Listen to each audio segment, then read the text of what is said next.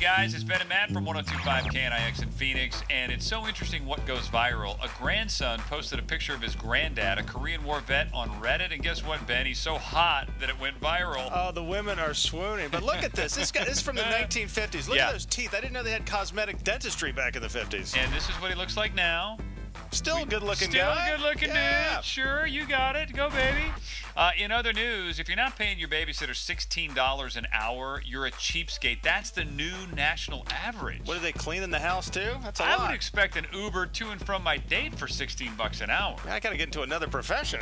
And hey, we just want to give it up to local Phoenix news anchor Troy Hayden. He got the scoop from Sandra Day O'Connor that, yeah, Obama should fill that vacant seat left by Antonin Scalia. You know, I gotta say, Troy Hayden in Phoenix is, is on. That guy should be on the national news. He's that good. There you go.